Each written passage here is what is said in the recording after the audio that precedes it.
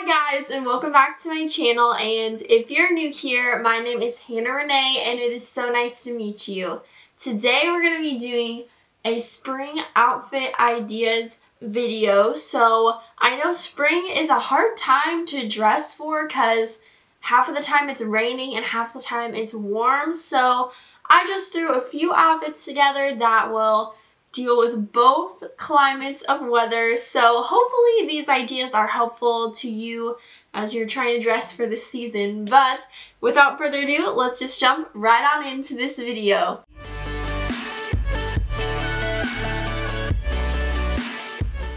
The first outfit that I'm wearing is this green top from H&M.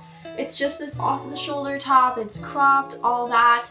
My jeans are from American Eagle just high-waisted ones. And my sandals are also from H&M and I'm just wearing a bun with a scrunchie and I have a gold necklace and that is my still warm but still cute spring outfit.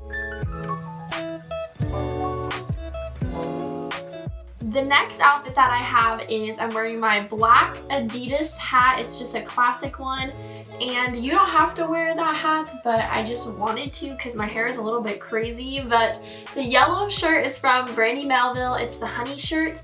My jeans are thrifted vintage Levi's jeans and my shoes are also from American Eagle and they're just some fake Birkenstocks. But that is outfit number two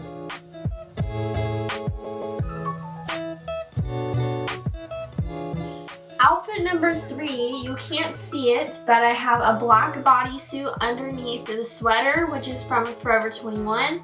My little sweater that's not very warm, which is why it's a spring outfit deal, is also from Forever 21. My shorts are from H&M, and the necklace that I'm wearing is from a conference that I went to, and then I just paired those with my favorite Nike tennis shoes. The next outfit is outfit number four and I have this cute little flower floral top. It's from Forever 21. My black shorts are from Target or Wild Fable. My sandals are the same H&M sandals that I wore earlier. And the necklace I'm wearing is from Gem & Company. Yeah, that's outfit number four.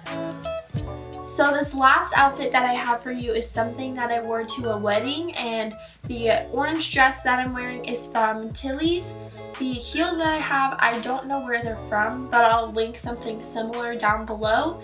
And the necklaces I have, the star one is from Brandy Melville and the circle one is a gift from a friend.